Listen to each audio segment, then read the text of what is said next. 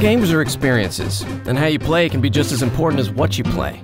For too long, players have had to choose between the precision of a mouse or the familiarity of a controller, between the power of a PC and the comfort of the couch. But why shouldn't you get to have both? The Steam controller isn't just a gamepad. It's a passport that brings thousands of games previously only playable with a keyboard and mouse to the comfort of your couch.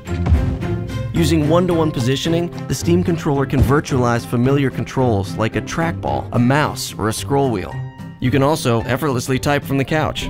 We've tossed out hunting letters with a cursor and made surfing the web as easy as texting your friends. PC gaming is all about options, and that's why you can customize everything about your controller on a game-to-game basis. Don't have time to figure out the perfect layout on your own? Turn to the Steam community and download the control scheme that's right for you dive in and surf the web.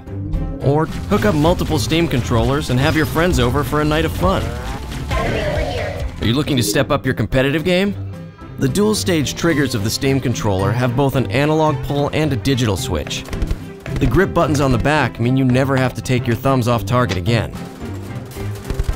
And all of this is brought together with real-time haptic feedback delivered by Twin Force reactors.